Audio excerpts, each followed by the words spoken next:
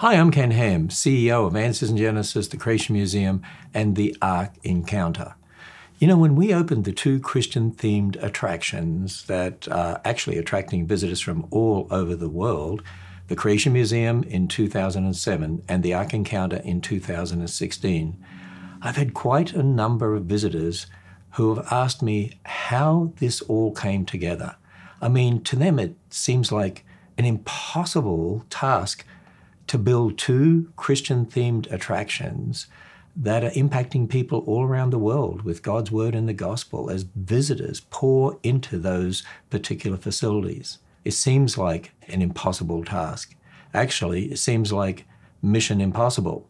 I think about those movies and I think about, you know, what if God had spoken to myself, my wife, when we were children and said, Your mission, should you accept it, is to eventually move to America and to be a part of forming the Answers in Genesis ministry and building and opening two Christian themed attractions, a Creation Museum and the Ark Encounter, that will impact millions with God's word and the gospel. I, I think we would have run in the other direction. But you know, as I look back on that history, I see God's hand in just so many miraculous ways.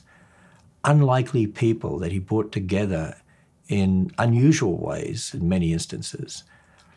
Unique circumstances, events, what we call Red Sea moments. I mean, really, I think we could call it mission seemingly impossible. But you know, with God, nothing is impossible. That's what His Word says. And so in October 2018, before a live audience, I gave a presentation of my personal testimony going back to my childhood, and then how the Answers in Genesis Ministry, the Creation Museum, the Ark Encounter all came about. It's an amazing story. And it's a fire in my bones, which is what we call the name of the DVD, the fire that started Answers in Genesis, the Creation Museum, and the Ark Encounter. And Throughout the presentation, I show many personal photographs and some that I don't think have been viewed by people in 50, 60 years or so. And I also talk about a number of people, but three in particular, three very special people. And you'll see that as I go through a fire in my bones.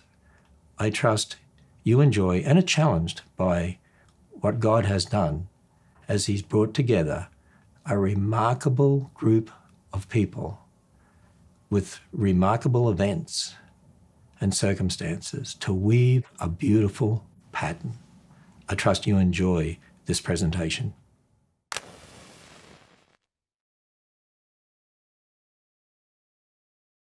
Please give a warm welcome to the CEO and founder of Answers in Genesis, Mr. Ken Ham.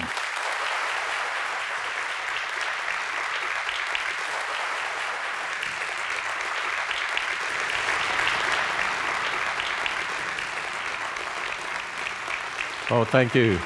Answers in Genesis is an apologetics organization, the leading creation apologetics organization in the world, uh, equipping Christians to defend the Christian faith and challenging non Christians concerning the truth of God's word and the gospel. And this year, 2018, in December, is the official 25th anniversary of the Answers in Genesis ministry. And actually, it's 43 years since I first started speaking on this topic, and 39 years since I first went full time, leaving school teaching in Australia to go full time into the creation apologetics ministry. Answers in Genesis has many different facets. I mean, we, we have a radio program, we produce a Sunday school curriculum that's used in about 10,000 churches, we have a VBS program that as in the top three sold in the world. We produce books and DVDs and of course, built the two attractions the Ark Encounter, the Creation Museum. Uh, our website, answersingenesis.org, our main website, we have many other websites, had close to 30 million visits in 2017. Our daily radio program, it feels like I've been doing it for millions and millions of years, uh, but it's a daily radio program. It's only a short feature, but it's on about a thousand stations, including a number of Spanish stations. We get some incredible feedback from that. Even, even for a, a 60 second radio program, I've actually heard many testimonies over the year of people saying they were saved as a result of that because it answered a question they had and, and uh, drove them to go to the scriptures. We have tens of thousands of people that read our award winning Answers magazine and 10,000 churches that have used our Answers Bible curriculum, which is unique in the world apologetics, biblical authority, chronological, and it connects Old and New Testament, and churches are telling us it revolutionizes their churches. Our VBS programs have an emphasis on apologetics, they're evangelistic, and we find churches telling us that they're so tired of the fluff and stuff that uh, they've used over a number of years, and they love the meat of the Answers in Genesis VBS program. In fact, the one for 2019 is on the race issue. I don't believe anyone's ever done that before for a vacation Bible school program. One family, one race, one Savior. We have a large warehouse. I call it a mini Christian Amazon. Okay, compared to Amazon, it's mini, right? But it's actually significant in shipping these resources that we produce all over the world. We have a, phenomenal lineup of powerful, dynamic speakers. We do a lot of domestic outreach, international outreach. And of course, uh, Answers in Genesis built the two leading Christian themed attractions in the world the Creation Museum and also the Ark Encounter, that are impacting millions of people, and all with an ultimate purpose to preach the gospel. Well, I hear people commenting on the museum, the Ark Encounter, the ministry as a whole, and then many say to me, How did all this come about? Because Actually, I must admit, every time I go to the Ark Encounter or come to the Creation Museum or walk around the ministry, I, I just look at it and say, wow, look what God has done. It's just a miracle. It really is a miracle. And so I wanted to give you a real personal testimony of what happened in my life uh, to be a part of bringing all this about. And to start off with, let's look at Proverbs 13:22. A good man leaves an inheritance to his children's children. And you know, a lot of times when we think about inheritance, we think about a material inheritance, but the most important inheritance is actually that spiritual inheritance that I call a legacy. And I would say this that really the Creation Museum, the Ark Encounter, the Ministry of Answers in Genesis, that we would say, conservatively speaking, right now, impacts 30 million people a year, at least 30 million people a year directly, is really a legacy of parents who taught their children to stand boldly and unashamedly on the authority of the Word of God and also uncompromisingly on the Word of God. So let me take you back to my homeland in Australia. My father was a teacher and he was transferred around as he was promoted. And because he was really good at what he did, is very diligent and wanted to, to maintain the highest of standards, he was promoted uh, in the minimum amount of time you're allowed to be promoted. And so we travelled all over the state of Queensland. We even ended up in some very remote places uh, in, in the west of Queensland as well, near the centre uh, of Australia. And my parents, as, as they travelled around, a lot of those places didn't have many churches, if any churches sometimes. And they were always looking for ways in which they could bring God's word and the gospel to the place where God actually took them. Well, in 1951, a hospital in Cairns, Australia, wrote out a little name tag for a baby. And that I found it in, in, some of the things that my mother had, and there it is, the name tag for me. Notice that they actually back then put sex, male. You're actually allowed to do that back then. Uh, so that tells you something about our current culture, doesn't it? And when I left hospital, look, I was seven pounds, two ounces. I always wanted to know that. But I was a cute baby, uh, as you can see.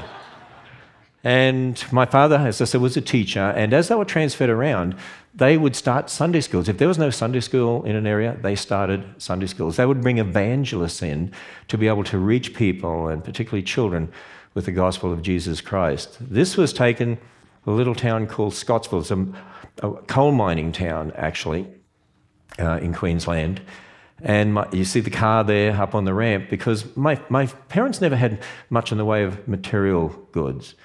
Uh, they, they didn't have material things and they didn't get much money. School teachers were very poorly paid. And so, to save money, Dad would fix the cars and he would actually teach me how to do that. And I remember uh, setting points, doing timing, putting in a new clutch plate, pressure plate, because these days you have no idea how to fix cars. It's all electronic, got to plug it into a computer. Uh, but they were the days when they were real cars, I think. But the, the thing is, he would do that to save money so that they could look after their children and because they wanted to use whatever they had to reach people uh, with the gospel of Jesus Christ. And that was their heart. And so I grew up in, in that sort of family. In fact, I, I remember my parents, you know, if they had something extra, a piece of furniture or something, uh, they didn't want to sell it. They would always look for someone to give it away to. And to this day, I, I can't sell things that we, you know, if, we, have uh, purchased something new or, you know, we don't need something, I, I want to give it away.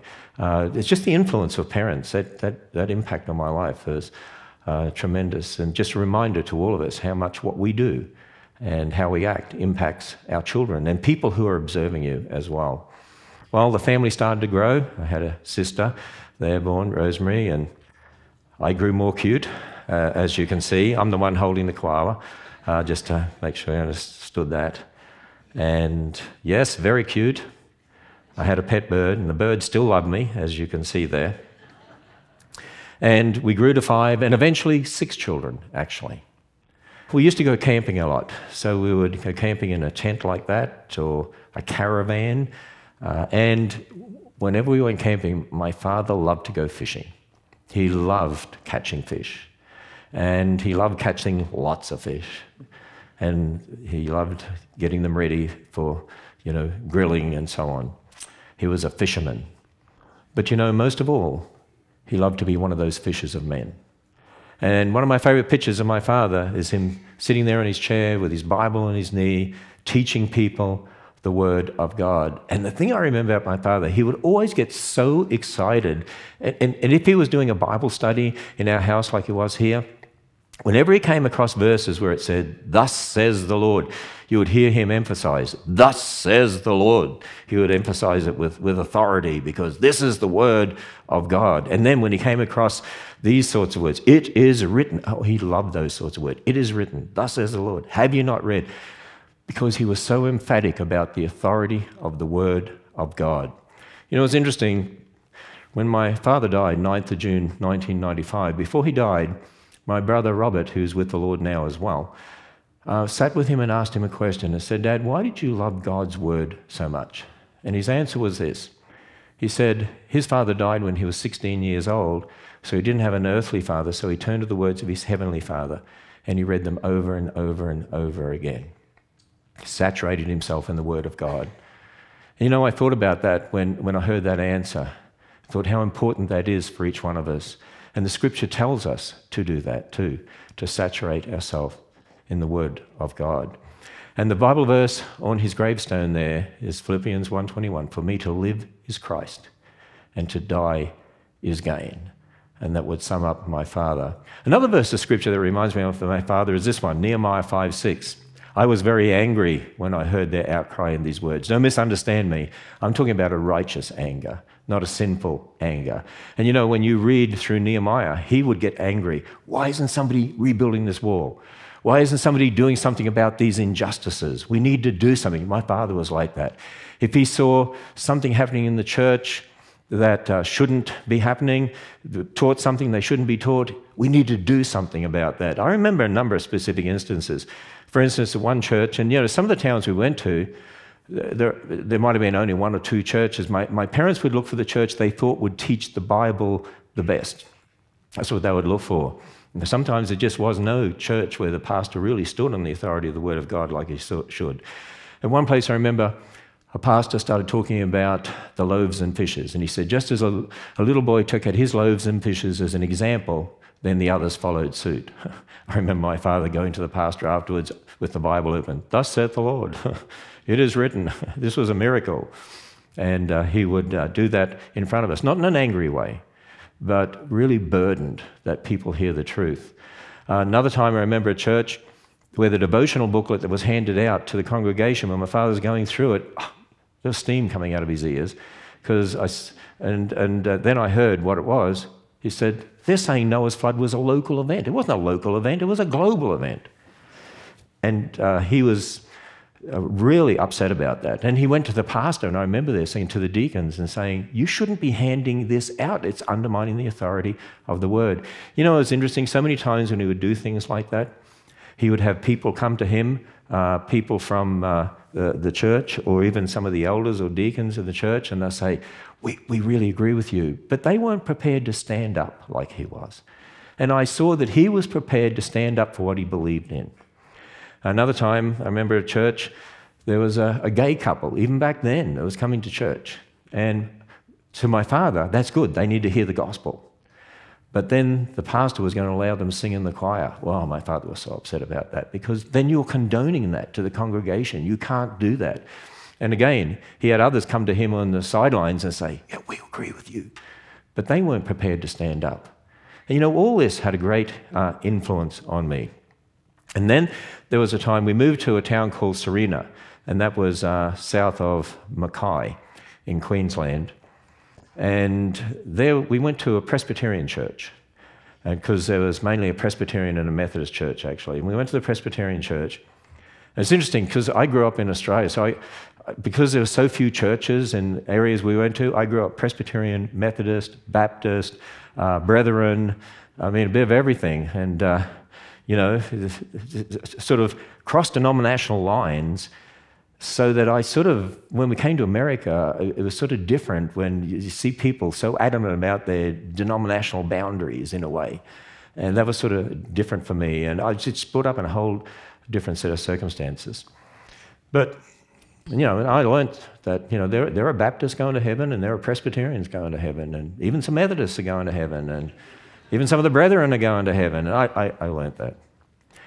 But anyway, one day the pastor for this sermon taught that you can believe in evolution and you don't need to believe in literal Genesis. Oh, I thought my father was going to explode. And I mean, this is when I was about uh, 12 years old. When I grew up in the elementary schools in Australia, they used to have what they call fancy dress balls, uh, costume parties. We'd have one every year, a costume party for the kids. And my mother was very creative. And she used to decorate wedding cakes and known for her exquisite uh, icing on wedding cakes and so on. Well, she used to make our costumes. And so this was one of the parties we went to at the school. And I was a chef. My sister Rosemary was a doll in the box. And our sister Beverly was a Christmas tree. And uh, my brother Robert, he's uh, with the Lord now. And uh, he was uh, obviously, I think, an Indian. And then another one, I was Robin Hood. Know that? Uh, well, the interesting thing was the year that this uh, pastor taught evolution, and my parents were so upset about that, guess what they did for my costume? I have never released this to the public ever before today. And knowing the ministry that I'm now in, you're going to find this really interesting. And it also tells you something about my parents because they were so against evolution. So they dressed me up as an ape, holding a sign on a potted plant that says Our Family Tree. So it was a spoof of evolution. So even back then, it was obviously, it, it was obviously very prophetic, I think. I was obviously predestined to be in this mission. I mean, you can see that right there. I think it's an amazing photo, actually, when I look back on that. And it reminds me of my parents' stand on God's word and just to think of the ministry that I'm now in. And uh, I think God does have a sense of humor uh, in that way. Well, you know, my, my parents taught us apologetics. They didn't use the word apologetics. My father never used that word. But it really was apologetics because one of the things he would do, he, he would get so upset at the liberals and, and the liberal theology in our churches, and he was always researching what the liberal critics were saying so that he could give us answers because he didn't want us doubting the Word of God. And so I was brought up uh, with that emphasis. And he taught us to build our thinking on God's word. And I, I, I remember some of the things he taught, I've never forgotten them. If something contradicts the Bible, the first thing you do is you go to the Bible, make sure you're taking it in context, according to the literature, according to the language. And if you're sure that's exactly what God is saying, because this is God's word, and let Him speak to you. Don't you try to add things to the Bible. Don't you try to uh, add something to try to change it because there's some seeming contradiction. And if you're sure the Bible is teaching what you, you believe it does, you're standing on God's word, and there's still a contradiction. It means there's something wrong with what man is saying. And just because we don't have an answer doesn't mean there isn't an answer. It just means we don't have the answer at that time. That had a great impact on my life. You know, sadly, I've met many people over the years who said, when they talk to maybe their Christian leader or even their parents about evolution or millions of years, or, other issues that contradicted the Bible, they were told, well, you know, well, maybe the Bible doesn't really mean that, and maybe, maybe you can reinterpret that, and so on. And that had an effect on what happened to them in their lives. And so, really, the way my father stood on the authority of the Word of God and my mother uh, had such an impact on us. Well, I entered high school in 1964, grade 8, in a high school uniform. I, I really was a cute kid. I mean, here, here I am in the class. Look, so cute over here. There we are. And for the first time, the textbooks actually presented in that year evolution as fact, millions of years as fact. And you know, I remember talking to my father about that. What's the answer to evolution? What's the answer to, to um, millions of years, to the idea that ape like creatures turn into people? And I remember my, my father saying, Well, I, I, I don't have all the answers there. I don't really know what they found and, and so on, uh, because we didn't have a creation museum. We didn't have an Ark Encounter. We didn't have all, all the books and DVDs that we have today. We had none of those. But we had God's Word. And that's really what my father taught me. And he said, You can't, you can't add evolution to the Bible. I mean, Genesis is the foundation for the rest of the Bible. You ever heard me speak on that? Genesis is the foundation for the gospel. Genesis is the foundation for all of our doctrines. And also, it wasn't just that, but he was most adamant that when you add something to the Bible and try to change it, you're undermining the authority of the word. And he was so adamant on the authority of the word. Do you see why that emphasis comes through so much uh, in what I do and, and how I speak? And I remember him saying again, I don't have all the answers. That doesn't mean there aren't any answers. We need to wait for the answers. And so we had to wait for the answers. Let me, let me tell you a bit about my, uh, some other aspects of my background here. I want to tell you about my grandmother on my mother's side, Nana, and there's granddad. who was such a, a gentleman. Uh, and uh, Nana, there she is with my mother. Uh, she is there dressed for church. And uh, she was such a bold witness for the Lord. And I only knew her when she was, you know, in her 70s. And uh, she died in her 80s. My granddad died when he was uh, 90, 94, I believe. They lived at the, at the foot of Mount Bartle the highest mountain in Queensland. I think it's 5,287 feet high. I know because I climbed every foot to get up to the top. and uh, perspective doesn't make it look like this, but the top is up where that arrow is right there. It was in a cane farming area there in North Queensland. I was at a place called Bartle south of Babinda, which is south of Cairns. And that was the old farmhouse built up on stilts. And you can see we visited there uh, during vacation time, holiday time, and we put the caravan there. And see these steps here? I'll never forget this. Because I remember the time when we were there, and I was out on the veranda here, and the Jehovah's Witnesses came visiting. And so Nana came out. And she stood on the top of those stairs, and I, st- I can still see her waving her Bible at them and quoting scripture.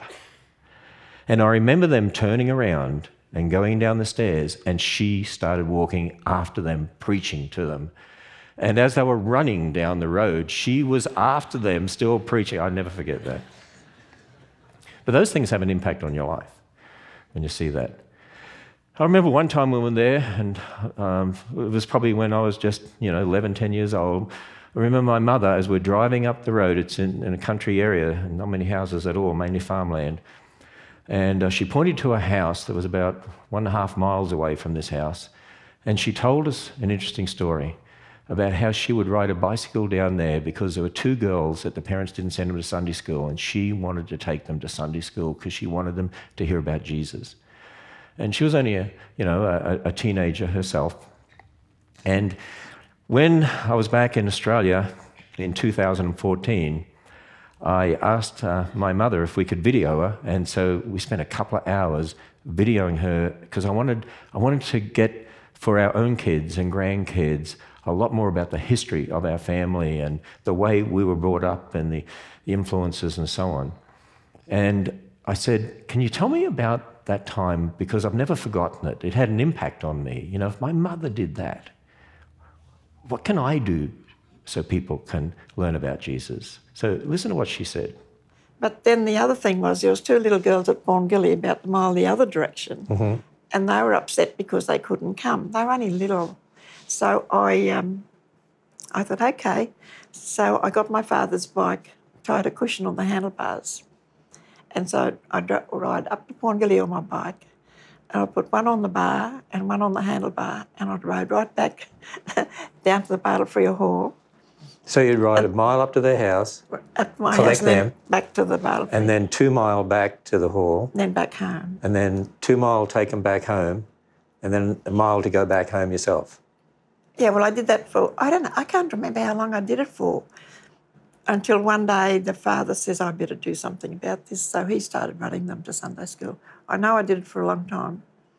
Like and months that, or a year oh, or be, be months. And uh, then she said this.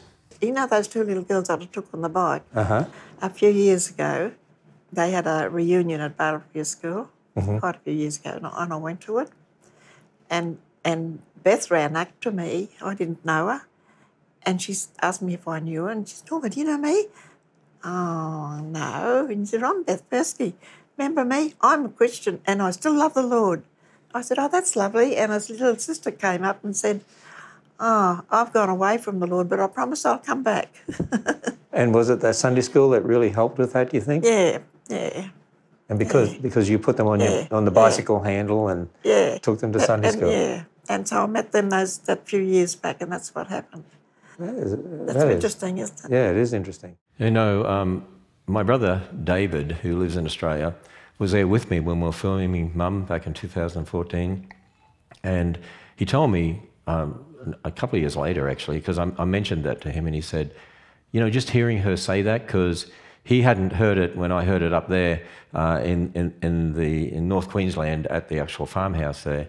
But he said, when she said that, she said, that really impacted me too, knowing my mother did that.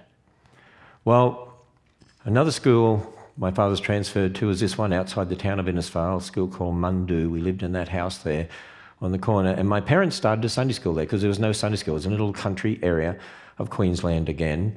And I, I put this photo in here because that was taken there uh, in Mundoo. And it's got a couple of people in there that I remember were missionaries because my parents would always have missionaries in the house and they would be helping them to get to the next town to preach the gospel. And I, I, know sometimes my parents were looking for the last little bit of money they had in the house to help them get to the next town and things like that.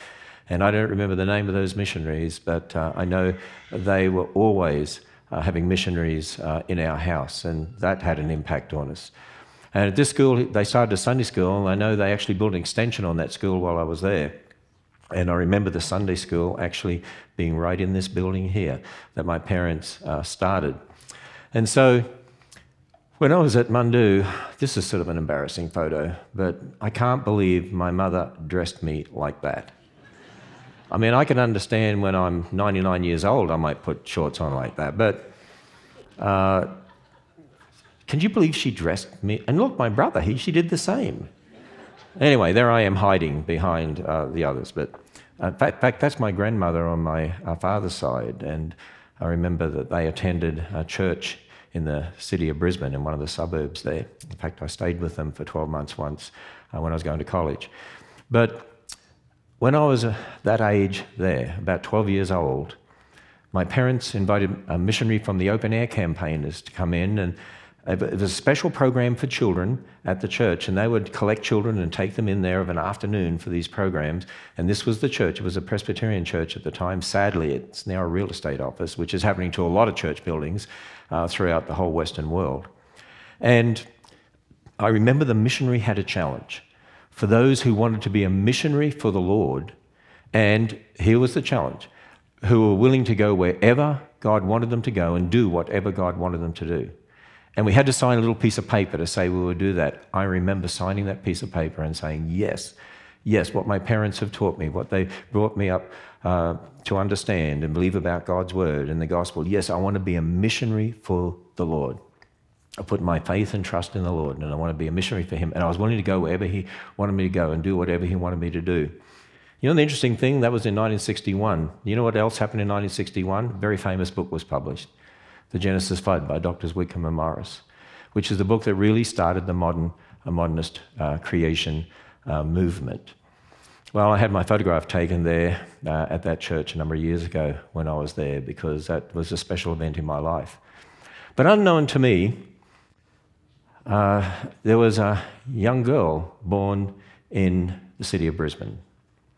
And she was named Marilyn, spelled M A R Y L Y N. See, most of the staff here don't even know that her real name is Marilyn, really Mary Lynn, pronounced Marilyn, but nobody ever calls her Marilyn. They only know her as Mally because that was a nickname her mother gave her when she was a child, and so they only know her as Mally. In fact, I remember once there was a package turned up at the office for a Marilyn, and, everyone said, There's no Marilyn in this. They, they didn't know there was a Marilyn. uh, but she was born, well, actually, Here's what's really great I figured out a way to remember when she was born and the year she was born, right? So whenever I hear them saying, oh, Pearl Harbor Day is coming up, Pearl Harbor Day, 7th of December. My wife was born on the 7th of December. Make a little note, by present. And then I think, how old was she? Then I say to myself, when did those scientists, Watson and Crick in England, when did they discover the helical structure of the DNA molecule that was in 1953. So that's how I remember how, how old she is. And now I've told you how old she is, and well, anyway, I'm in trouble. And there she is as a young girl. You know, when she was about, about 10 years old, and uh, sort of about the same age I was, um, when she was about 10 years old, it was about, I was about 10 when, I went, when uh, we went to that church where I made that commitment, actually. Um, so I was 12 years old when I wore the ape costume. Uh, but anyway, uh, she, her mother sent her to Sunday school. She didn't grow up in a Christian home like me, but her, her mother sent her to Sunday school. And at Sunday school, the Sunday school teacher was telling them about the gospel. And um, told me it was many, many years later, after we were married, that I actually we were actually talking about this. And she said that she was listening to the gospel and she said, Lord, if you did that for me, you died on the cross for me. I want to go wherever you want me to go and do whatever you want me to do. And she committed to do that too. And it's interesting, we realized we both made the same commitment as young children, and then God brought us together. Well, in 1970, we moved to Brisbane, and uh, that was the house uh, that we lived in. And then we went to this church. And this was a Methodist church in a suburb called Sunnybank. And I remember in January 1971 walking up those stairs, and there was a young lady handing out hymn books. And she had a sash on her because at that church, for the young people, they'd had this competition. It, it, uh, the suburb's called Sunnybank, and so it was who was going to be Miss Sunnybank Methodist for the year. And she was Miss Sunnybank Methodist she had that choice of being Miss Australia, Miss Universe, Miss America, or Miss Sunnybank Methodist. And so it was Miss Sunnybank Methodist. And uh, here she is when we met as a teenager, when she first met my parents. And Mally is a very, very shy person, very reserved person. Uh, and my mother thought she didn't talk when she first met her, but we found out that's very different once she got grandkids. There's a picture of us uh, many, many years later, obviously. But we're standing on the seaside. Uh, it was, it's at a, a, seaside area of a suburb called Manly, and it was there where, on October 22nd, 1971, I asked her to marry me. And you say, Wow, you remember that date? Yeah, I asked her at breakfast. That's the only way I remember those. How, why is it that she knows the, the birth dates of all our grandchildren and our children, and she knows all these dates, and I'm hopeless at that stuff. By the way, guess what, guess what car I had then? We were sitting in a car overlooking the sea here, and there it is. It was a VW, a VW Beetle, a green VW Beetle. And uh, that, um, that was uh, the very car that we sat in when I asked her to marry me. And I, I found this in some of my mother's things. Um, my mother is, well, she's, at, at, the time of doing this particular presentation, she's 90 years old, turns 91 in February, actually. But this was the wedding invitation for Marilyn, Joan, and Kenneth Alfred. Uh, and there's our wedding photo. And there we are today. We haven't changed a bit. I'm still cute and she's still gorgeous. Look at that. Uh, so we had our photo taken at that very church where we first met uh, when we went uh, back a few years ago. It's not a church anymore, uh, it's, it's, actually a theatre now. Uh, but nonetheless, that's where we first met. And so, in 1973, I graduated. That's a, that's a weird graduation gown, isn't it? Anyway, I graduated with a Bachelor of Applied Science uh, in Biology and Environmental Science uh, from the Queensland Institute of Technology, that's today's called the Queensland University of Technology. And in 1974, I did a graduate uh, qualification in education to become a teacher. But right up until then, I had never found any books that really had the answers to the issues of evolution and millions of years. And then uh, there was a man in our church who was the president of a teachers' college. His name was Gordon Jones, and he's with the Lord now. And this was particularly mentioned at uh, his funeral, actually. But he had this book somehow, I don't know how, and he gave me this book. And I was reading it because I'd been taught a real evolutionary course at university, and actually, the more they taught it, the more I realized this can't be true. It's ridiculous. And then I read this in there Was death evolved? Since death may occur in all forms of life, the origin of death is unknown apart from revelation. The Bible alone gives us the true story of the entrance of this dread experience into life. And at the same time, the Bible reveals to us its final conquest. The last enemy that shall be destroyed is death. That, that little book, I still have the very booklet, and I put it in uh, our library here at Answers in Genesis. But what really hit me was, of course, if you believe in millions of years, you've got all this death, and in the fossil record, there's evidence of diseases and uh, all sorts of horrible things. Wait a minute, how could that exist before sin? Death came after sin. After God made man, he said everything was very good. How can you call a fossil record with all this death and disease very good? And that was such a key point for me. Not that I uh, didn't believe God's word in Genesis, but that was a key point for me to realize yes, theologically, you can't have death and disease before sin. And then it was interesting that uh, in that same year, uh, that same man, Gordon Jones, told me, he, he, said, Did you know, I've heard there's a book uh, in America published about the flood. And he said, You need to try to get hold of a copy. He said, Because that'll give you lots of answers scientifically in that as well. He said, That's what I've heard. And so I went into our little Christian bookstore in Brisbane, and at that, that time there, there wasn't much in the way of Christian resources in Australia.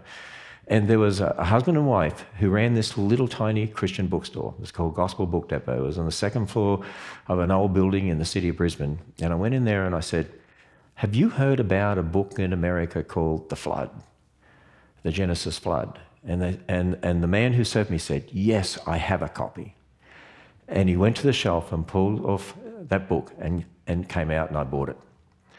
You know what's fascinating? Because that gave me some answers. I know my, my father was excited at the answers there too in regard to geology and so on. Many years later, when I was over in Australia, I was at one of the animal parks and there was an elderly lady there. And she recognized me. I didn't recognize her, but she recognized me. And then when she came up and talked to me, I realized she was the wife of the man who ran that Christian bookstore. And her husband had gone to be with the Lord. She's gone to be with the Lord now too. And we got talking, and I told her I remembered them and that I bought the book The Flood from them. And we talked about the ministry we're in, because she'd heard about the ministry and what was happening with, with our ministry. And she looked at me and she said, Did you know? She said, My husband had a real burden to have that book in the bookstore. She said, It's something he said he couldn't explain. He just knew he had to have it there. And I thought, wow, see how God uses all these different people and circumstances. You don't even find out about many of them until later on. Well, in 1975, uh, I was appointed to be a high school science teacher in the town of Dalby, which is about two and a half hours west of the city of Brisbane, up on the Darling Downs, a wheat growing area. And uh, so I began teaching there. And one of my first science classes, because kids knew I was a Christian, because I was down to be uh, in charge of the Christian group in the school. And uh, uh, some of the students said to me, Sir, we heard you're a Christian. How can you be a Christian when we know the Bible's not true? And I said, How do you know the Bible's not true? And they said, Because of what our textbooks teach us about evolution. And then I was asked the question, Sir, how, how could you believe in Noah's Ark? We know he couldn't fit the animals on board. And so I realized this was a stumbling block to them. And in those days, we had all the freedom you needed to be able to teach them. And so I taught them about evolution, but then I also taught them why it was wrong, and I taught them uh, about uh, creation and the flood. And uh, it's interesting, I've met a few of those students many years later in, in different places, and I, they come up and tell me who they were. And uh, I've heard of at least three testimonies now of, of those people who said they became Christians later in life, but they remember back to that time when I taught them about God's Word in school. It had a big impact on them. And I also remember the day when I talked to them about the Tower of Babel and that we're all descendants of Adam and Eve through Noah and we're all one family, we're all one race, aren't you different races of people? And, this was back in 1975. And some of the Australian Aboriginal students uh, from the Australian Aboriginal people group came up afterwards and said, Sir, please tell us more. And then I realized as I started to study it, Darwin, in his book, The Descent of Man, said the Australian Aborigines are closer to the apes than those with light skin. And they were treated terribly in Australia. In fact, scientists uh, sent people to Australia to hunt down the Aborigines, herd them into swamps, herd them over cliffs, to kill them. They paid property owners to go on their property and do this. And they had instructions on how to skin them and boil up their skulls as specimens, all in the name of evolution. And that's why, ever since that time, I've had that burden concerning telling people we're all one race. And you'll see it in the exhibits at the Creation Museum, you'll see it uh, in the Ark, and you'll also see we have a couple of books. A book uh, just came out with for children, One Blood uh, for Children, which is really good for mums and dads and everyone. The book One Race, One Blood, I did with an African American pastor, and I, and I have presentations I give on this because I was sort of shocked when I came to America and saw the prejudice in the church in America. It just blew my mind. And, and even back then, I understood we're all the same skin color. Uh, we, we just have different amounts of pigment melanin. Well, you know, I was taking my students uh, to animal parks and museums, but they were always from an evolutionist perspective. And, you know, I quote Jeremiah 29 where Jeremiah said, In my heart, as it were, a burning fire shut up in my bones, and I'm weary with holding it in, and I cannot. God started to give me that fire in my bones. Why can't we have a creation museum? Well, I started to research more to find some more books. Actually, I came across a copy of the Genesis record by Dr. Morris, and actually, that helped me develop what we call the relevance of Genesis message that we give, the importance of the book of Genesis, because he dealt with that theologically in that book. Our first child, Nathan, was born in 1976 in the town of Dalby, and that's the pastor and his wife there holding uh, Nathan. And the, reason I want, I to put that photo there too is not just because that's our, that was our firstborn, but because our pastor, Jim Kitson, who's remained a really good friend of ours, we love to see him when we go to Australia, he and his wife Kay. And he asked me to speak in the church in 1975, and I decided to do it on creation apologetics. So I, I, I, did my first ever creation apologetics talk in 1975. If I went back and listened to me then, I probably would never employ me in Answers in Genesis, believe me. Well, that was when I first uh, spoke on the topic of uh, creation evolution, creation apologetics. And then I was asked by some of the other churches to come and speak. And I started to, and I found most Christians didn't know that you could believe the book of Genesis. In fact, they had all these questions about what, what, what wait a minute, what, what about the days and so on, and what do you do with millions of years? And I realized they didn't have the answers.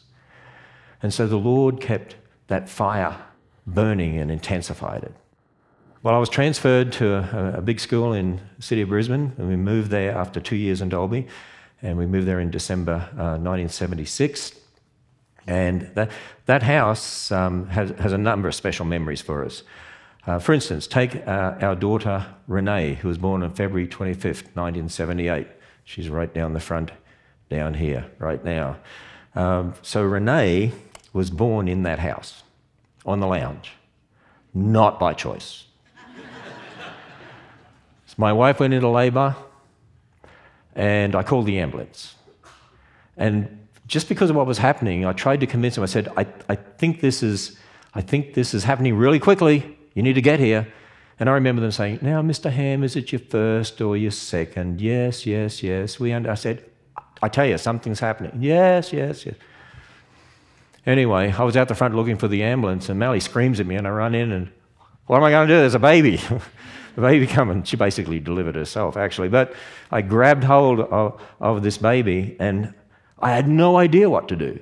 No, I, I've been trained in any of this stuff. What do I do? You know what I did? It's actually true. I thought, I've seen movies where they grab them by the legs and whack them on the bottom. And that's exactly what I did. I went whack, and I heard this cry. Oh, good, that worked. Uh, and, and then I thought, aren't you supposed to do something with the cord? And so I took my bootlaces out. I couldn't find any string, and tied the cord. Now what do I do? Well, I, in, in, the meantime, I'd sent someone screaming for my mother who lived around the corner, and she, she grabbed another lady who was a midwife, and they were there, and she raced down and, and she helped fix everything up and, and, and so on. And, and then the ambulance finally came, and they were sort of in shock.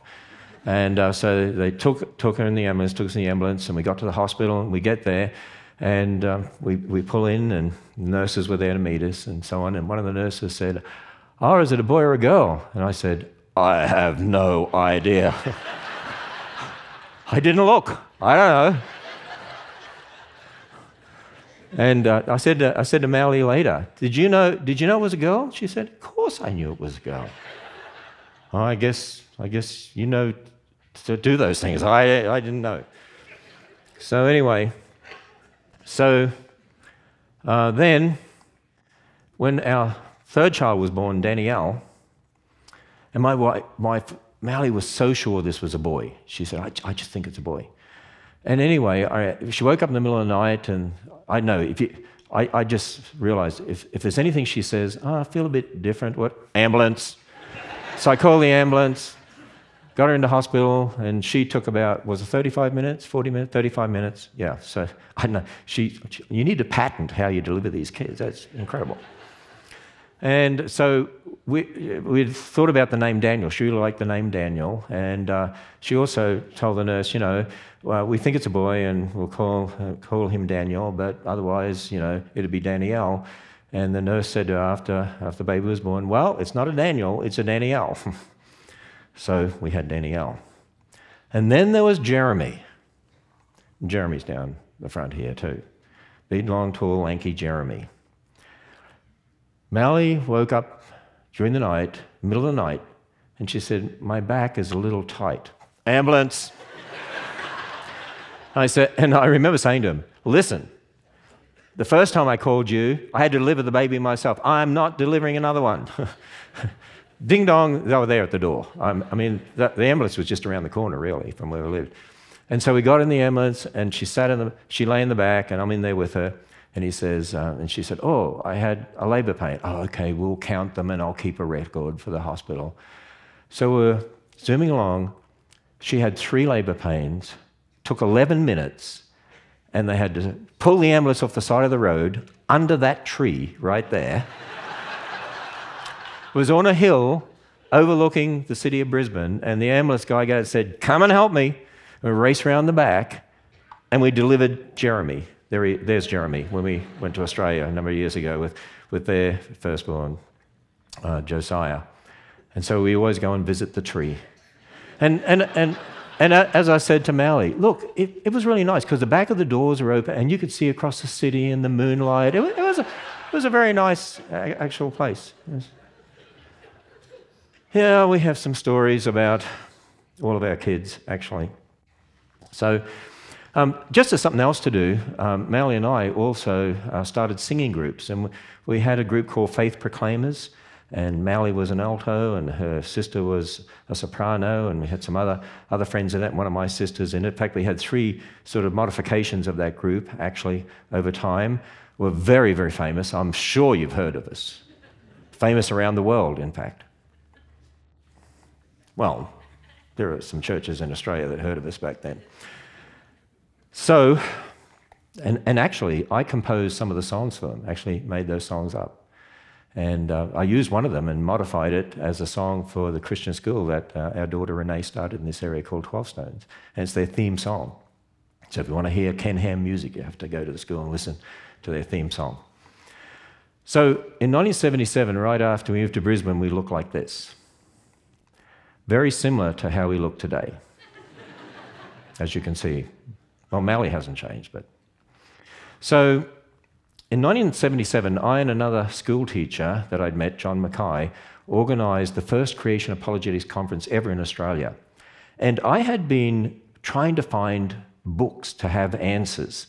And these were the first books that I obtained. There was one from Singapore by Professor Orr, the Genesis record, the Genesis flood uh, with Dr. Morris, Dr. Morris, and Dr. Whitcomb. Uh, Professor Enoch from India, that little uh, yellow book that came from uh, England, another one that came from England, Bone of Contention.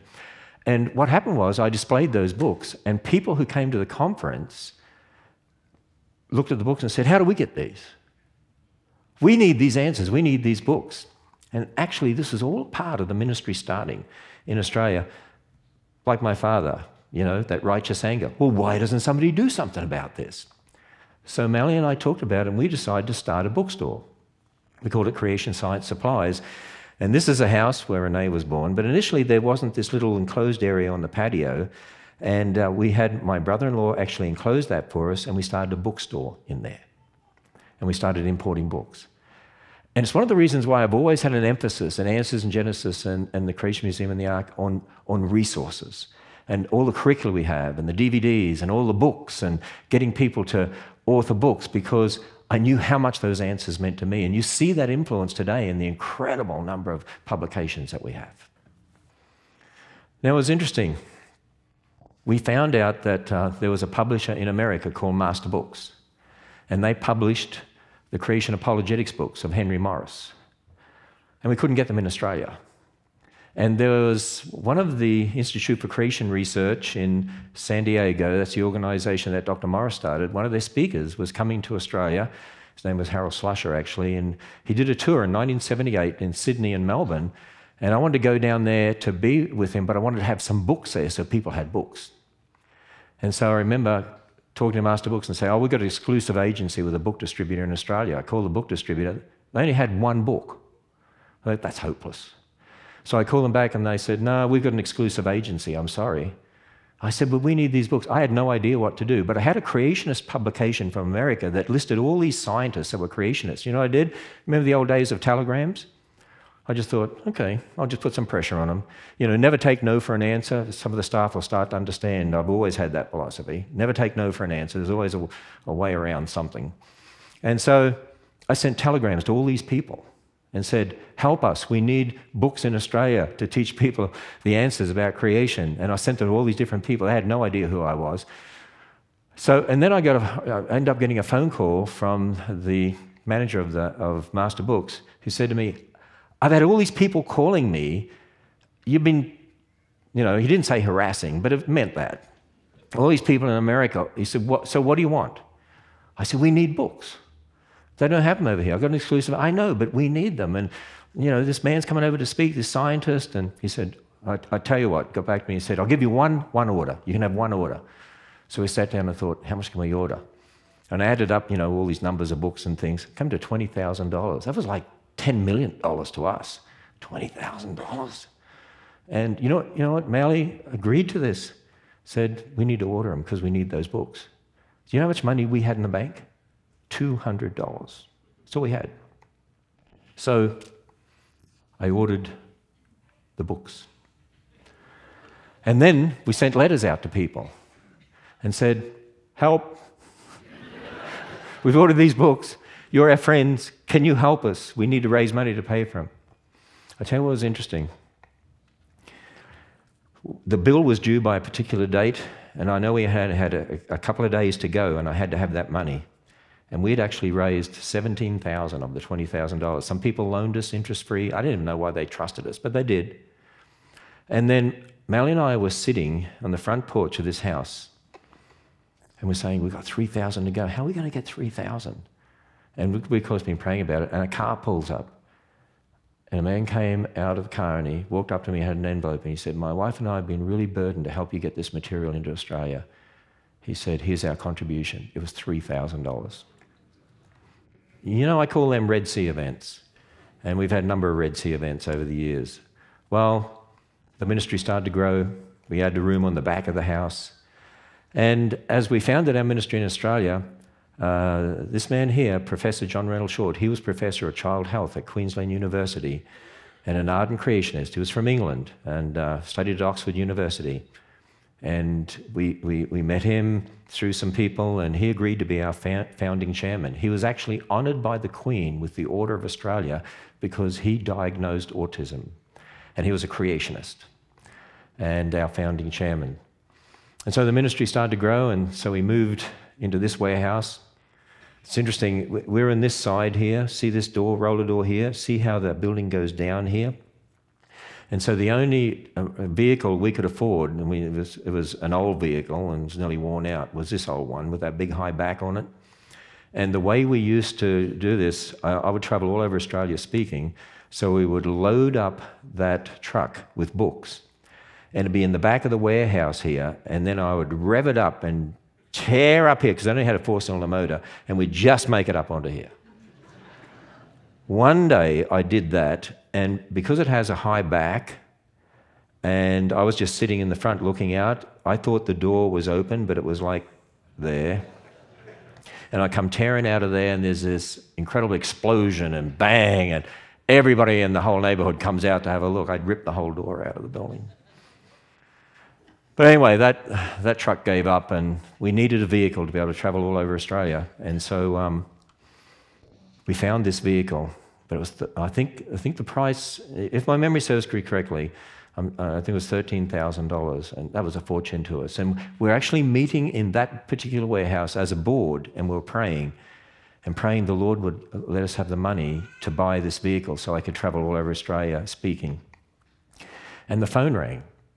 And I picked it up, and it was a businessman who said, Listen, I've got a little extra cash at the moment. Um, any particular project you've got? He said, Because I've got $13,000. It was the exact amount. And that's the vehicle we bought. And we also traveled all over Australia, dragging this trailer as well. And I, I spoke uh, traveling across uh, Australia uh, speaking.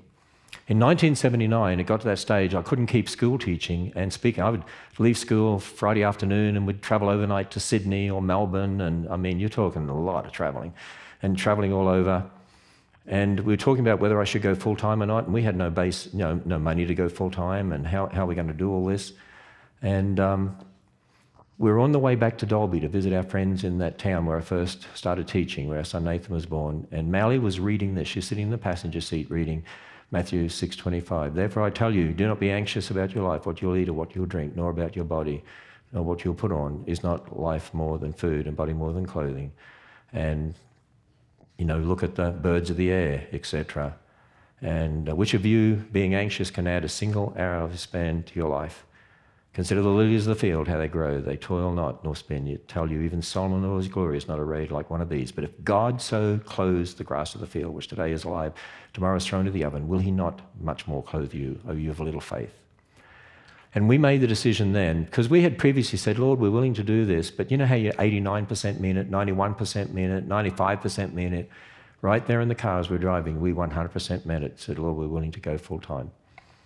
And so I resigned from school teaching. There's a whole other interesting backstory to all of that, um, which I don't have time to tell you in, in, in this particular presentation.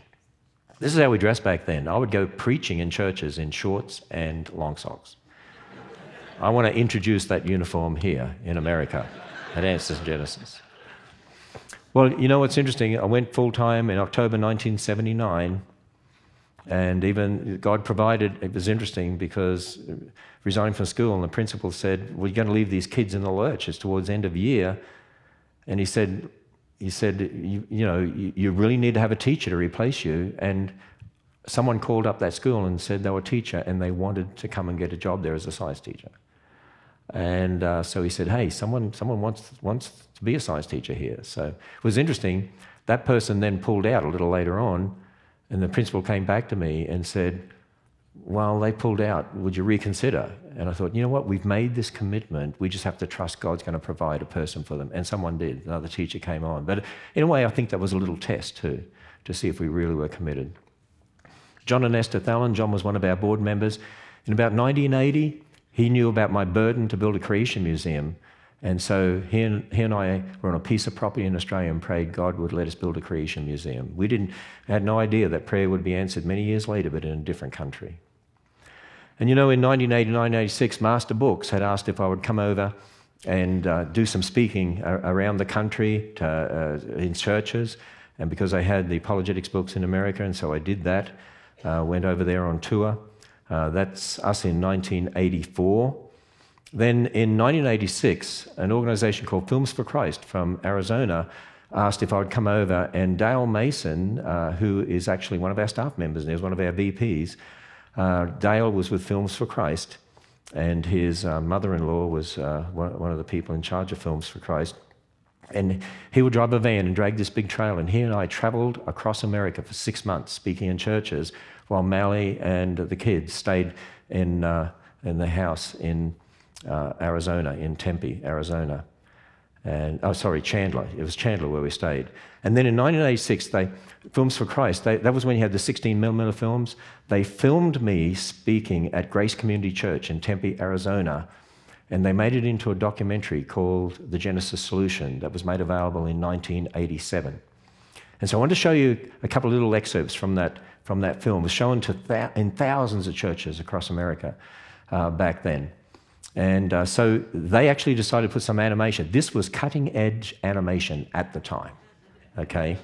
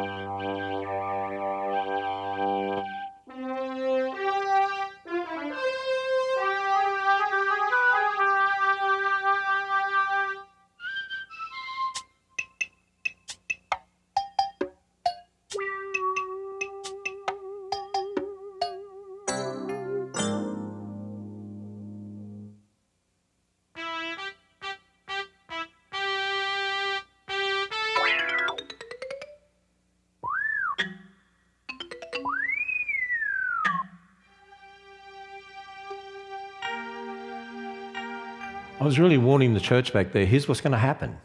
Here's what's happening. And you look at that and realize that's exactly what's happened.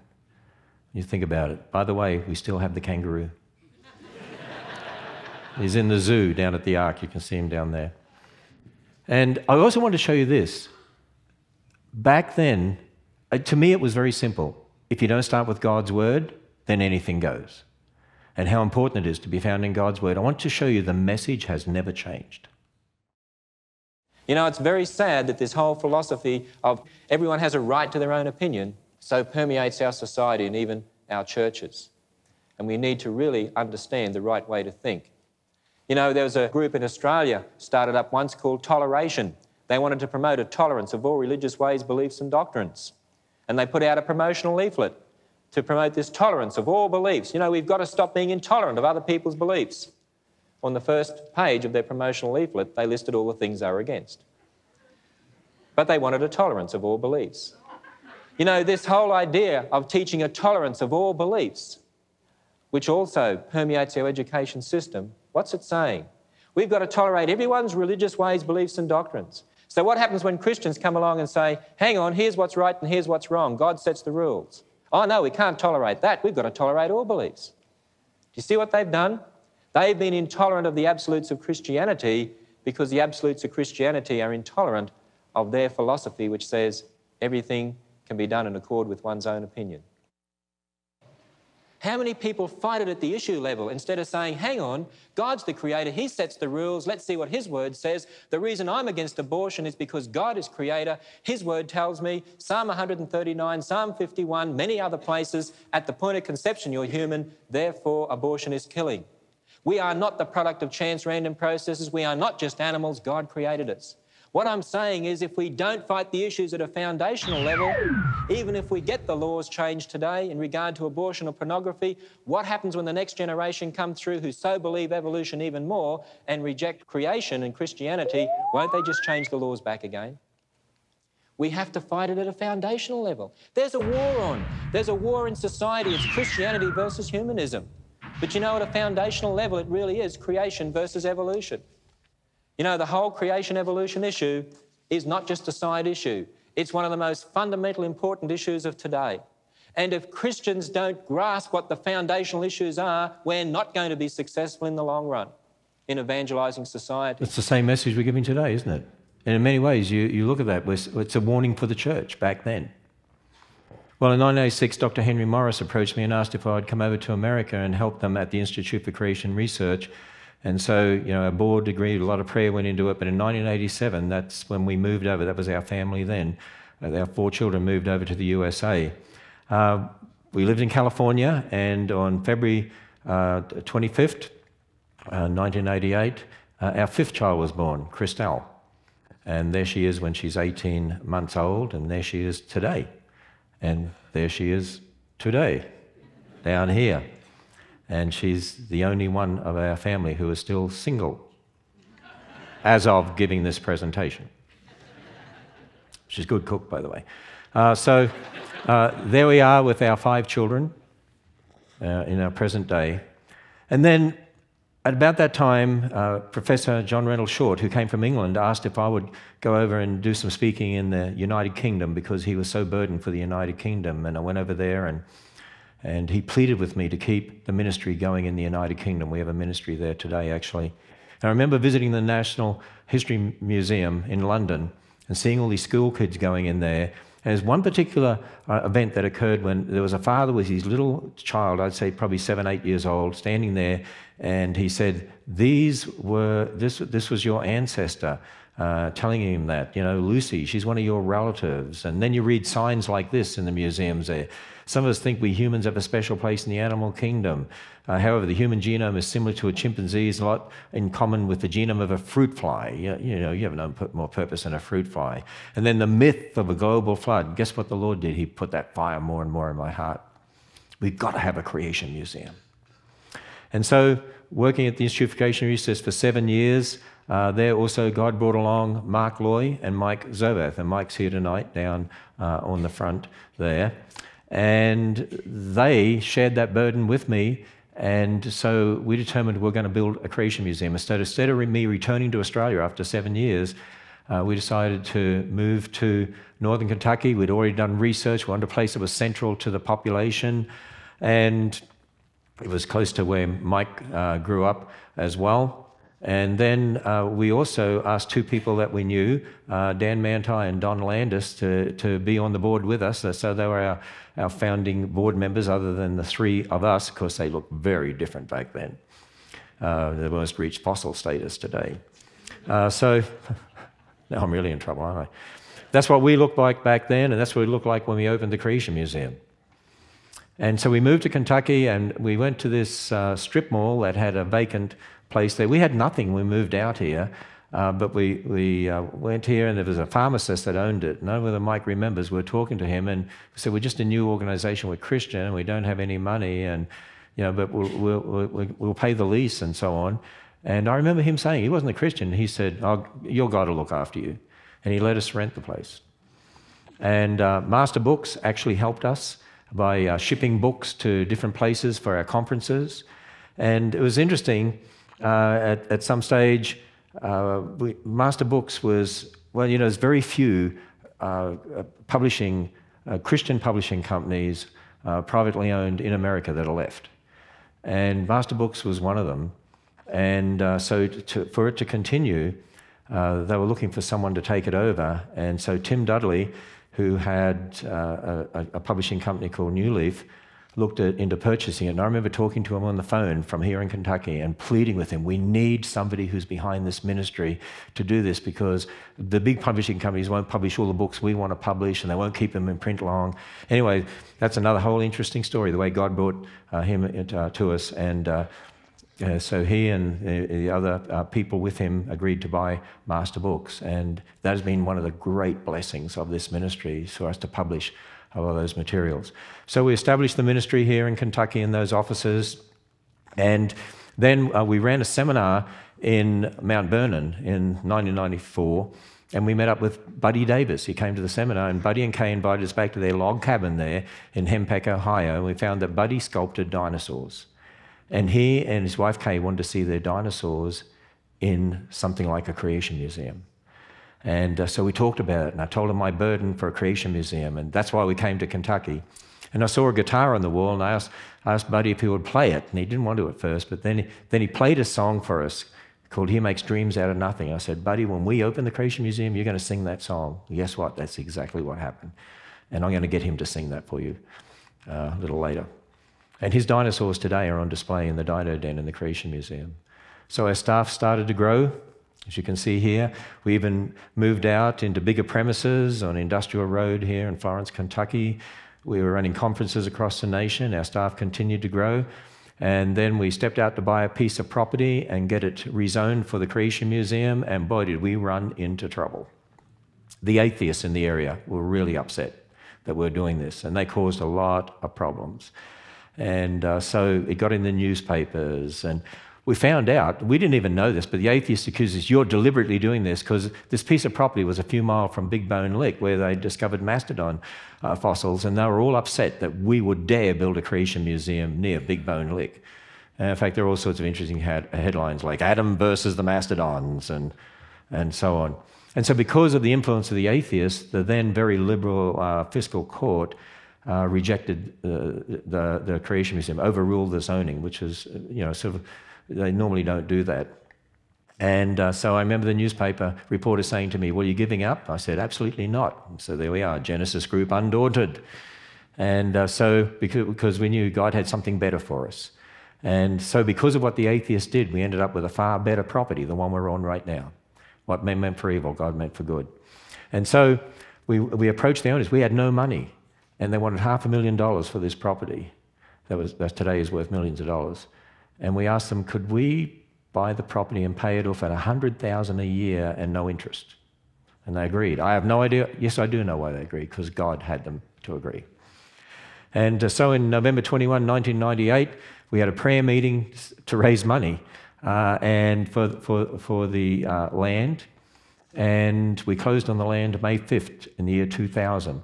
And then uh, someone in the area who was really thrilled we're here, worked for an architectural company and asked the, the head of the architectural company if they would do the architectural work for us. And so they designed uh, the building uh, for us. And so these are some of the uh, initial renderings. March 17th, 2001, we had the groundbreaking. And uh, there you can see uh, the machinery moving in there in 2001. And there's Mike Zovath and I looking at uh, all that's going on here. In the meantime, our ministry continued to grow. And another person God brought into our ministry was Brad Bembo from uh, Joseph David Advertising, JDA Worldwide. Uh, Joseph David, um, meaning, you know, interpreter of dreams, ready to fight. And we had a dream and we were ready to fight. And JDA has helped take our marketing to a whole level that we would never thought possible. The billboards, the ads on TV, and we would never thought that possible. And most Christian organizations don't have that ability. And we praise the Lord that He brought them um, into our ministry. And then uh, the museum continued to, uh, uh, to be built here. We had a lot of famous people visit while it was building, like uh, the late Jerry Falwell, uh, who visited and wanted to see what we're doing, and he was thrilled with it. And uh, there's the three of us in suits pretending we're working um, Mark Loy, Mike, and myself. And then in 2001, Mike heard from a guy called Patrick Marsh, who was in Japan at the time, who heard from a newspaper report they were building a creation museum, and he'd worked for Universal Studios and other theme parks around the world, and he wanted to know if he could come and be our designer. And Mike sent back and said, yes. but his computer wasn't working, and he didn't know that Mike had responded. He came over and visited his brother in Indiana, went back to Japan, and then saw the email and so contacted us. And then uh, we brought him over here and he did a model of the museum. He was really upset that we'd already designed the building. You don't do it that way. You, you, you design a building for the message. We just designed a building. We had no idea how we are going to design a museum. We just knew we were going to do it. And uh, patrick said no you don't do it that way. Well, we do. And uh, god brought in all these phenomenal designers i mean just uh, it's just miraculous and uh, there i am with patrick um, patrick's right down here on the front and the Lord brought him to us, and I handed him the script for the message of the seven C's. Go to it, Patrick. And he and the designers, and he headed up all that, of course, and his brilliance that God has given him, and turned it into what you see today, and the same at the Ark. And then another man that came along, Tim Schmidt, who lives in this area as a horticulturist, very talented horticulturist, said, I want to use my talents for the Lord. And so he came in and did all the gardens, and now he has a big horticultural centre at the Ark, and God has used him in a mighty way. And there's the four of us uh, Patrick on the left, Mike Zovath, myself, and Mark Loy. Uh, uh, on the 10th anniversary of the Creation Museum, as we were discussing our history. And uh, I put a picture of Mark here specifically because when you watch these short videos here, um, you'll hear Mark, you won't see him. And he's the one that has done the radio program with me for years and years and years. And so people knew his voice, but they never knew him. If they hear him speak, you're the voice. Uh, but this gives you a recap.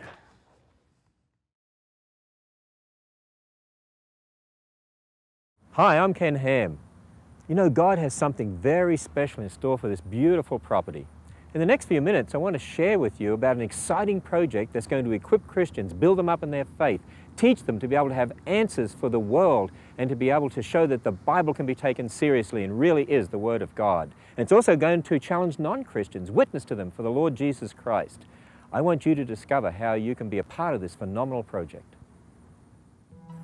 Here's what the world needs. Wouldn't it be a tremendous blessing to walk into a major 50,000 square foot centre where visitors can learn that the Bible is true and that the Christian faith can be logically defended?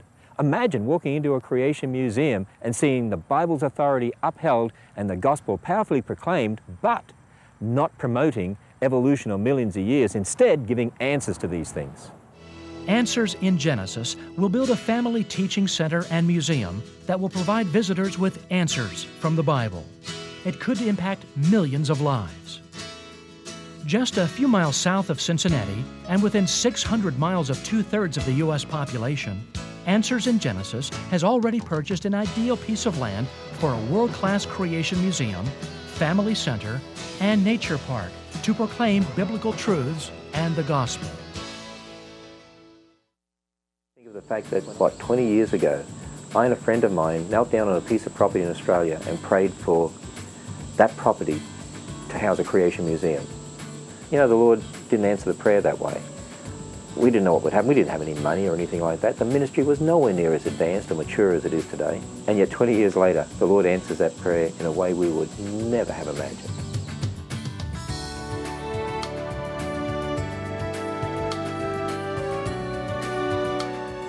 Here we have a property in an area in America, the greatest Christian country on earth, within a one day drive and one and a half hour flight of two thirds of America's population, with an international airport so people from all over the world can come here.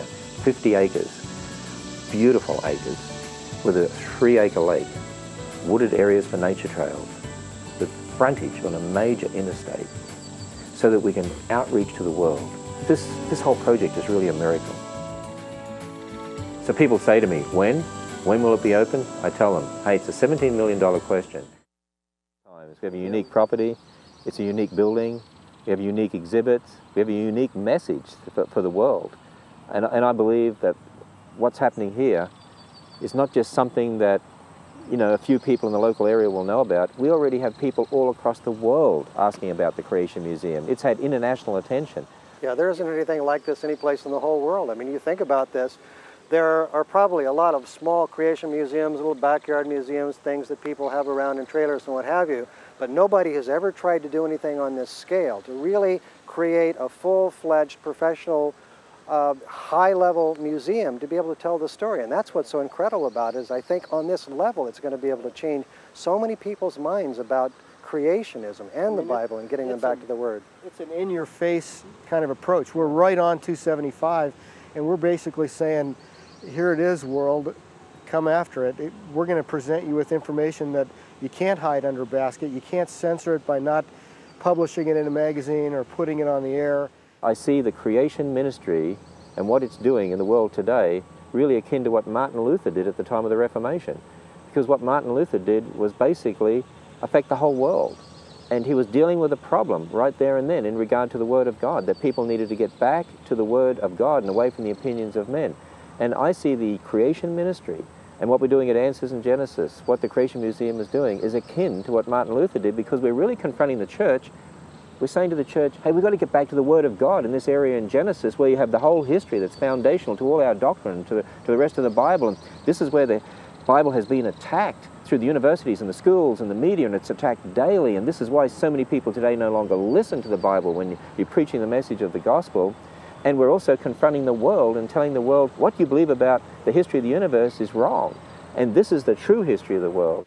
All of the events that are going to be happening inside, we want to have an effect on people, not just for them to have fun, but to actually change their point of view, to rethink about how they look at the Bible and about the truth of it, and to really revisit, you know, Genesis 1 through 11. We live in an interesting era of history. We see the battle between Christianity and humanism in, in, in a way that, that, that burdens us, and, and, and we realize there's something dreadful going on in this nation. England's already lost its Christian basis, and we see the Ten Commandments being ripped out of courthouses and schools, and we see the education system that's become so atheistic, and we see America as a nation losing its Christian morality and becoming less Christian every day. We need to do something about this. The message that the Lord has laid on the heart of those in Answers in Genesis and through the Creation Museum is the message, I believe, for this age. And you know, those who support this ministry and those who support the Creation Museum, they're a part of it. It's not just our museum. I want people to understand that. It's not just Answers in Genesis Museum. It's your museum. It's our museum. It's God's people together who are going to provide this for the world. I encourage you, be a part of this exciting project.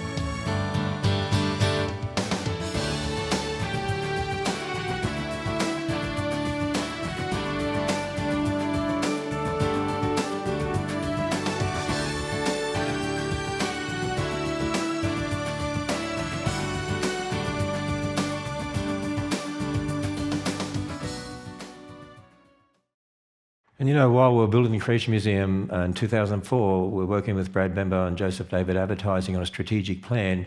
Number seven was build the Ark. And uh, because we knew that was a big issue to help people understand the reality of that and how big the ark was and how Noah got the animals on board. And so in 2005, in our strategic plan, number one strategy was build the ark. And so the time came for the opening of the Creation Museum, um, May 26, 2007. May 26th, 2007, the Creation Museum is officially open on account of three, two, one. And the atheists gathered outside, had a rock band out there, and they put up, like on this porta potty, and it's probably a good place for that sign. Uh, they put that sign there.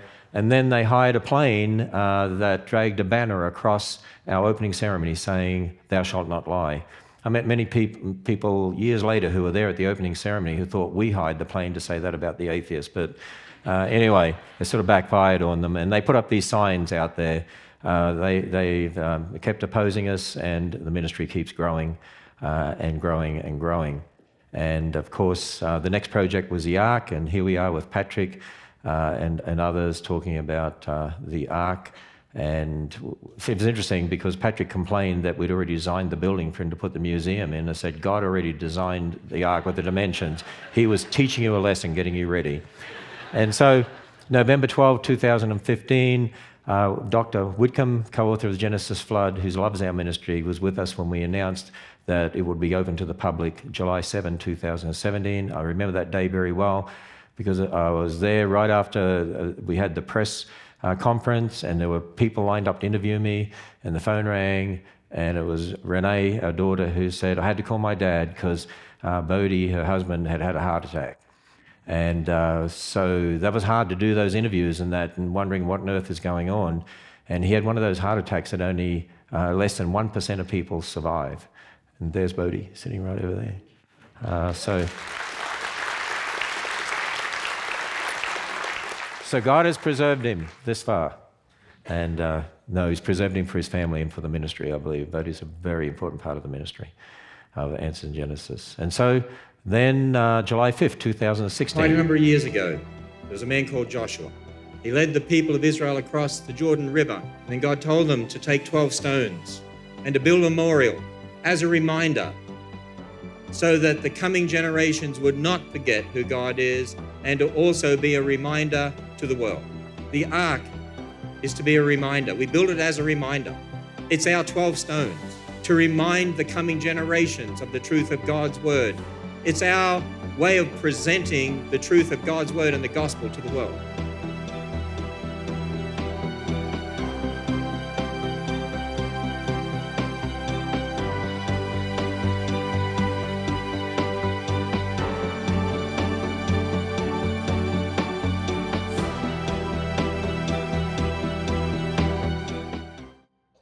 And the atheists were outside protesting again.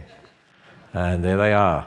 They said, This fable won't float. Actually, I agree with that. The bathtub ark won't float. We even had an exhibit about that inside.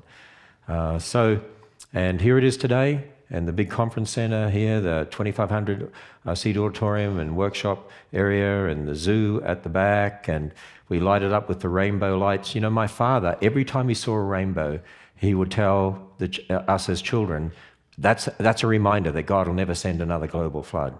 And so I found a, a, picture of the rainbow my father took many years ago over the cane fields in Australia. And so at Christmas time, we really light uh, the Ark up, and we have our Christmas programs at the Ark and uh, the Creation Museum. You know, again, I want to get back to this. A good man leaves a legacy, an inheritance to his children, his children. And uh, it's, it's really a legacy of parents. Uh, and should be a challenge to all of us as to what legacy we're leaving. You know, here at the Creation Museum, we have a special exhibit uh, because um, my father and mother taught us to stand unashamedly, boldly, and uncompromisingly on the authority of the Word of God. And that's my father's Bible in there with his notes in there. A little Noah's Ark he built me many, many years ago, not knowing one day we would uh, build a life size ark, but because he knew that that stood for something, our stand on the Word of God. And there's a picture of my mother uh, and my father. And really, their legacy is summed up by this it's the message of the Ark, the Creation Museum, and Answers in Genesis. At night, you can see the cross lit up on the door. And when you go inside, one of the places where people like to have their photographs taken is at the door with that illuminated cross there. Shows up more on a smartphone, actually. And it's a reminder there's no one his family went through a door, we need to go through a door, and that door is the Lord Jesus Christ. And so we had our photograph with all of our family now there we are with uh, all of our 16 grandchildren. There they are. And if you look carefully, we still have the kangaroo. And Uh, I've sort of made an executive decision here. I'm going to go a few minutes over the time that we told you because I wasn't sure how long this would take and put together all this. And I, I'm up here in control of the microphone and I'm doing it anyway.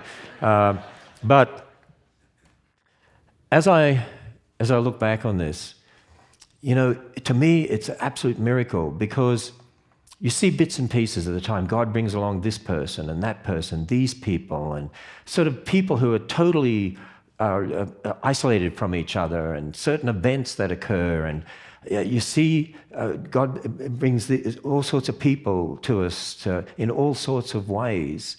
Uh, just as God brought the animals to Noah, He brings all these people into our lives. And as I look back on the ministry of uh, Answers in Genesis, the Creation Museum, and the Ark Encounter, and see all the people God brought into our lives, and I now look at it and realize it's like a beautiful web that He's woven, a beautiful designed web. And uh, so, how does that legacy continue? You know what? God has raised up all sorts of leaders within the ministry. We're handing over more and more uh, to uh, some of the younger uh, people who are visionaries in themselves that God has brought along. Uh, but what about leadership uh, for the ministry? And a few years ago, our board members, who are here tonight actually, because we have a board meeting this week, and uh, so they're all here as well, and they kept saying to me, What happens when the bus hits Ken Ham? And they started talking about the bus coming and hitting Ken Ham. I got that way. I wouldn't even cross a road if I saw a bus. I wouldn't hop on a bus. What happens when the bus uh, hits Ken Ham? Well, God brought into our lives uh, someone very special, Joe Boone. I'm going to ask Joe to come up uh, here. And I, I, just want you to show you again, as part of that web, that beautiful web that God weaves, how He prepares the way and prepares things. And Joe's just going to give you a short testimony because recently I've been CEO and president since we started the ministry. And uh, recently we appointed Joe as president under me. And I must admit, every staff member that came to me said, that is the best person to do this. And supporters, like you people here in the room, so many have contacted me and said, you couldn't have made a better choice. It was the choice that God made. Uh, and uh, so, Joe, why don't you tell them? Because it really relates to something on my father's uh, grave. It's the date, 9th of June, 1995. Yeah, thank, thanks, Ken. It's. Uh it's exciting to be here tonight and, and share this with you. I, have been here at the ministry for 12 years, but the connection actually goes back 23 years uh, to 1995. Um, at the time, we were living in Indiana. We had, uh, my wife and I had a three year old daughter and another one on the way.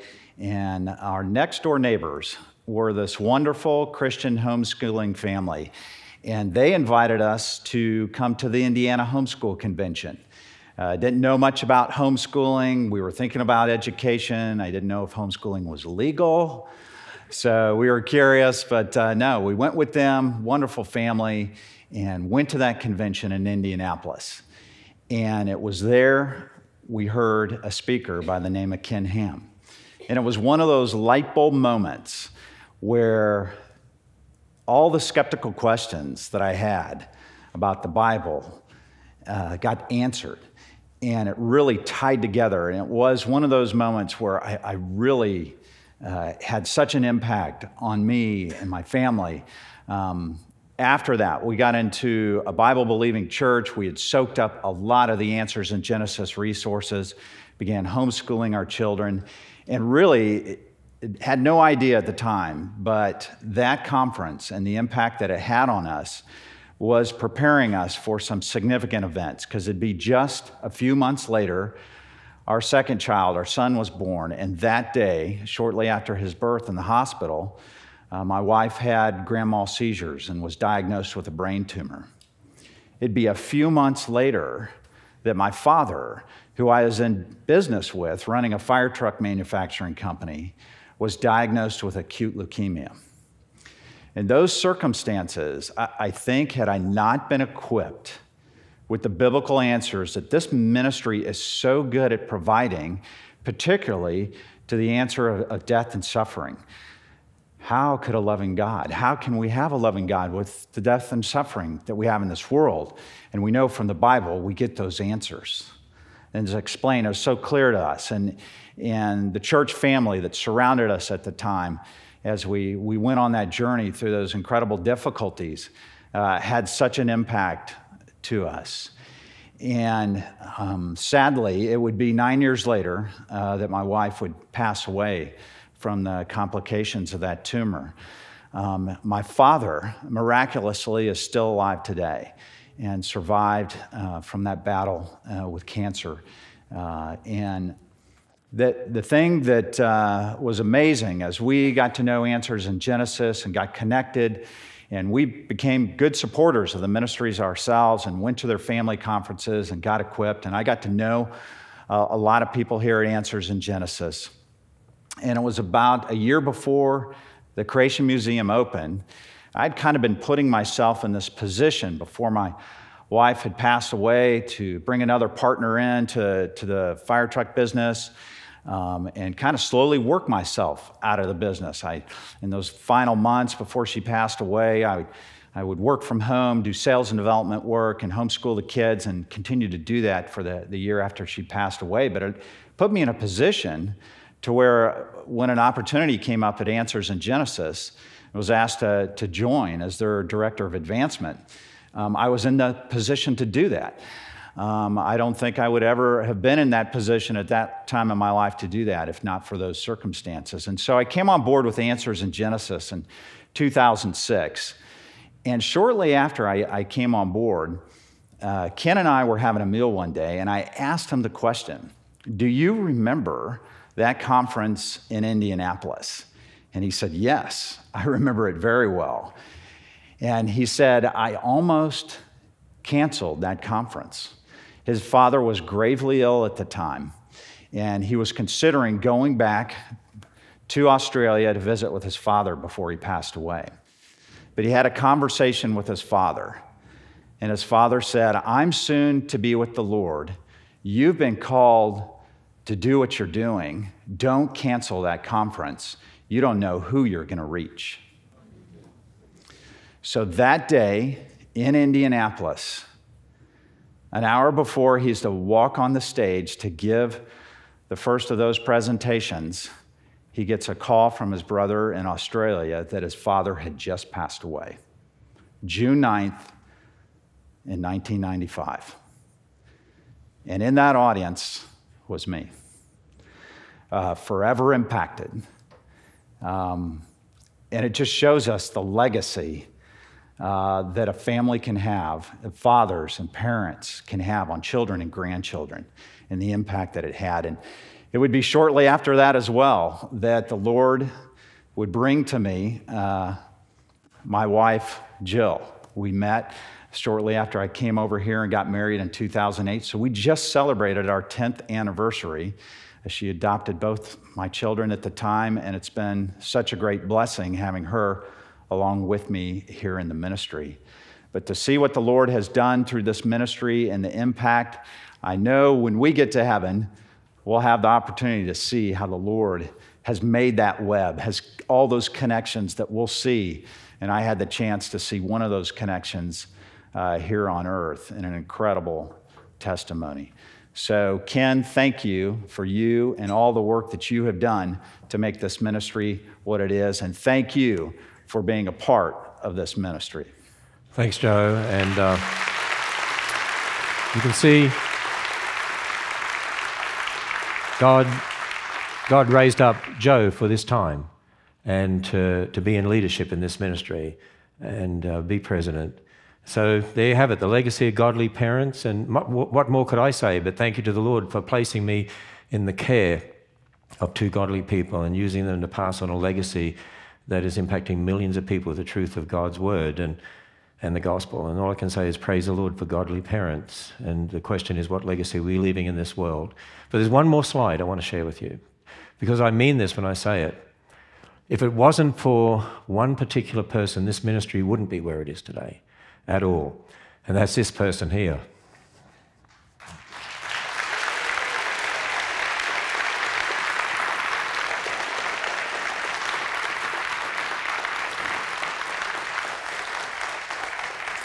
She has supported me a million percent, never questioned, uh, never seen the ministry as competing, all the travels I've done, looked after the children. And the children will tell you they've never heard her say a negative thing. and never questioned. I think that's, why, that's a big contributing factor as to why all our kids, they love the Lord, they're devoted uh, to our family, to their children. And uh, I tell you, if it wasn't for Mally, this ministry would not be where it is. Because for someone to put up with what she's put up with over the years and to support me, all the traveling, being away from home, and all the attacks we receive, and all the other sorts of things, and she in the background, very shy, reserved, but supporting me a million percent, this ministry would not be where it is without such a godly wife, which I praise the Lord for. And so there it is.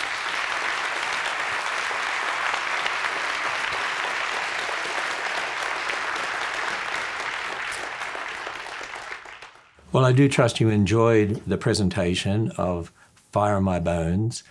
And you also now know that the three special people that I was talking about, and of course, there's lots of people that I do discuss during the presentation, but three special ones my parents and my wife, Mally. When we were first considering coming to America to work with the Institute for Creation Research for a few years, it was a sort of a difficult time for us in struggling with are we sure we're making the right decision? We're going to leave father and mother. We're going to leave uh, our siblings. We're, we're, we're going to leave our homeland and we're going to drag our children over to a foreign country and actually be involved in a, a ministry in a land that, you know, is, is going to be so different. And we were still uneasy about it all in one sense. We really believed God had called us to do it, but we were still struggling with I hope we're making the right decision and crying out to the Lord, Lord, we're willing to do this, but can you just just give us a peace about it? And I remember we went to a wedding and the pastor was actually the father of the groom and he looked at his daughter-in-law to be and he said, "You know, you need to be like Ruth. Where your husband goes, you go. Where he lodges, you lodge. His God, your God. And he gave a message from Ruth. And it was interesting, as Mally and I were sitting there in that church, Mally turned to me and she said, You know, I'm just like Ruth. Where you go, I go. Where you lodge, I lodge. Your God, my God. She said, I'm, I'm like Ruth. That's me. And that is Mally. Around that particular time, the church we were attending was actually moving out further into the suburbs. And so we had to transfer our membership to a nearby church. And there are a number of us that actually did that. And the pastor of that church had known my parents for many, many years. And when new people were actually accepted into membership, he would actually bring them out the front and get them to give a little testimony. And Mally talked to me and said, I'm not a public speaker, and you know how shy I am, and I don't know what to say and what, what am I going to do? And, and then she looked at me and she said, What if I just say, My testimony is that I'm like Ruth. Where you go, I go. And I said, You know, that, that's really good. I think that'll be fantastic. Well, that particular Sunday, when those who were becoming new members transferred from this other church uh, went forward as the pastor called us to the front, we were ready to give our little testimony but then the pastor did something totally different. He decided to give a testimony about each person. He hadn't spoken to us about this. We didn't know he was going to do that. When he came to Mally, he just looked at her and he said, Mally, I've watched you and I, I, I know you. And as I've thought about you, you remind me of Ruth. And remember what she said where you go, I go. Where you lodge, I lodge. Your God, my God. I see that sort of commitment in you. To us, that was, I don't know, we, we took it as just a confirmation that God was saying, I'm in this. I'm calling you to do this. And looking back on it, we can certainly see God's hand in all of that. And we just praise Him and thank Him for the way in which He's led us. When we came to America, our fifth child was born in America, in California, Christelle. And so we named her Christelle Ruth. Well, when I first met Buddy Davis in his log cabin, and I asked him to play a song on the guitar I saw sitting on the shelf, Buddy played and sang the song He Makes Dreams Out of Nothing. And so I said to Buddy, when we open the Creation Museum, not if, but when, because I was sure that God had called us to build the Creation Museum. And I was really sure that Buddy and Kay and their dinosaurs were going to be a part of the Creation Museum. I said, I want you to play and sing He Makes Dreams Out of Nothing. Now enjoy Buddy Davis as he sings He Makes Dreams Out of Nothing, the song that was sung when we opened the Creation Museum 2007. He makes dreams out of nothing, and he makes the dreams come true. He has given you a vision. You must hold on to the view. If you but ask, you shall receive. But in your heart, you must believe. He has a victory for you. And He'll make sure your dreams come true. You're a child of the King, the creator of dreams, and your faith is door and then you'll see. He but speaks and it is done. Soon your battle will be won. He has a victory for you. And he'll make sure your dreams come true. He makes dreams out of nothing. And he makes the dreams come true. Don't be discouraged by the past. A door will open if you ask. And don't give up, keep on praying. He's never given up on you. He makes dreams out of nothing. And he makes the dreams come true. You're a child of the King, the creator of dreams, and your faith is a key.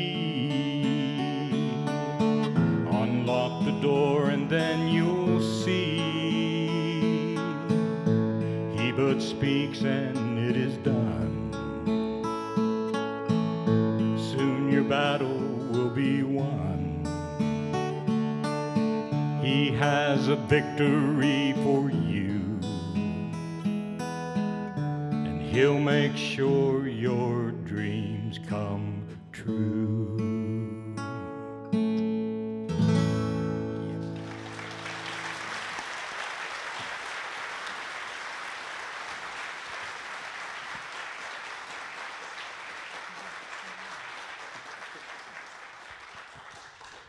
Wow. the, I, the first time I heard that song in Buddy's cabin, I thought, yeah, that's pretty cool. But the last time I heard it, when the, we opened the museum, cut the ribbon, it was really an emotional experience. And ever since that time, it, I, you know, we, we thought, well, the battle's won. We opened the Creation Museum. Then Ken came up with a wild idea of opening an ark. We started the battle all over again. But every time I hear that song now, I get a little bit emotional because it was such a blessing and we, we got through such an amazing challenge.